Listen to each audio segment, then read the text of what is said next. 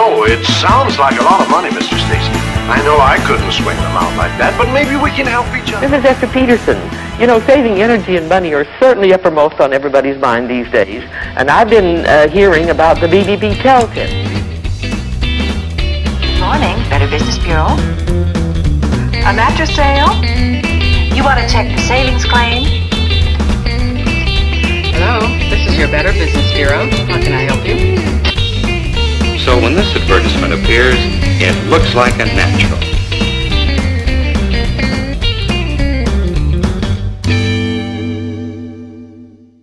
Do either of you have anything more you want to say? No. No. Okay, well, then I will take the evidence and the testimony and I'll consider it, and then I will give you my decision in 10 days. Consumer does need help. Definitely. I think the consumer needs all the protection they can get. 40% of incoming calls were resulting in busy signals. Our lines are busy. Can you hold, please? Thank you. Improved methods of handling company reliability reports were adopted.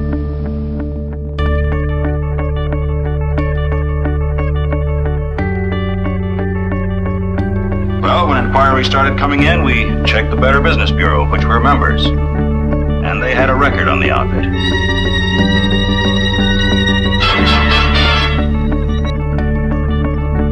The Council's program to educate consumers to be wise buyers is the largest public service effort in the country today.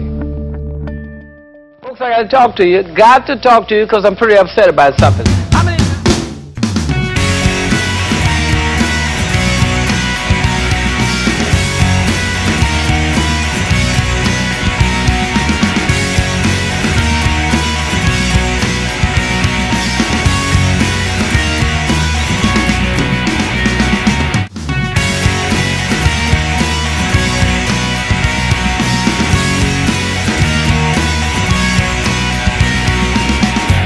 Bureau is receiving complaints nationwide about these bills that are painstakingly similar to real Verizon bills.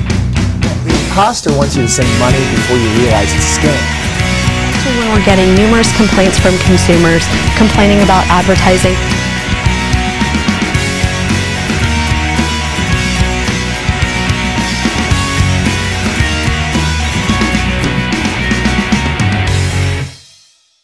So joining us with more on where the Better Business Bureau came from and where more importantly it's, it's headed is, is Carrie Hurt. How involved is it for a company? How costly is it for a company to be um, to have the Better Business Bureau stamp of approval either on their website or their company? Our seal. It's Seal, a very yeah. valuable seal, and it, it's more than it's more about standards than about cost. And that's one thing that we believe in our hundred years is the very foundation and why our organization has flourished and maintained for all those years.